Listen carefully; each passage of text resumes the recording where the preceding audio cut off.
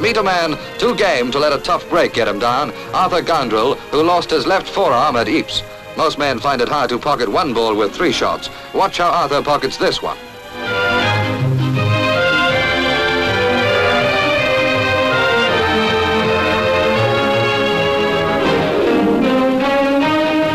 Arthur's setting him up again in case you'd like to win a free drink too. Off she goes.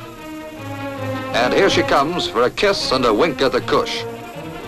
Now, down the spout for a pot of the red. Arthur'll be even redder if it's a miss.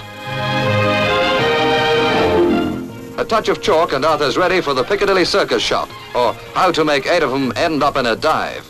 Watch them circle and weave. A zebra crossing's got nothing on this. They'll all end in one pocket, or so Arthur hopes.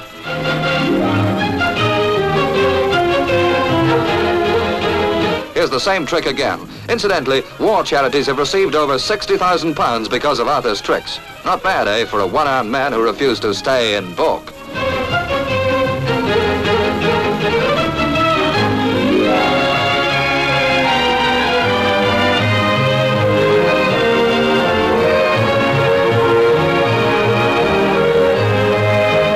As an old soldier, Arthur's used to going over the top.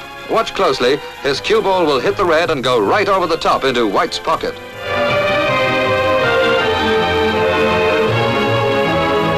The chalk gives him a thirst. Soon he'll have to worry about another sort of cue. But first, he wants to show you how Walter Lindrum startled the world with, remember, the famous nursery cannon.